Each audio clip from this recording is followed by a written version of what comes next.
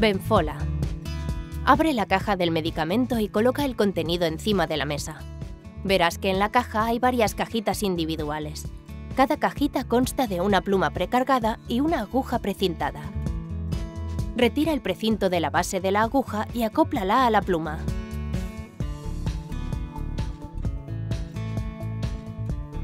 Retira el capuchón de protección externo y a continuación el de protección interno. Con la aguja apuntando hacia arriba, presiona el émbolo de ajuste de dosis hasta que haga tope. Saldrá una gota de medicación. En la ventana de visualización se ve una flechita que desaparecerá al apretar el émbolo.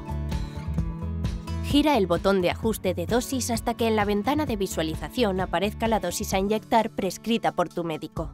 Ya está todo preparado para la administración. Limpia la zona del abdomen con una toallita de alcohol. Con una mano pellizca la zona del abdomen donde vas a administrarte la medicación. Con la otra coge la pluma y clava la aguja lo más perpendicular posible a la piel. Empuja el émbolo hasta el final. Después retira suavemente la aguja y presiona sobre la zona de inyección unos segundos.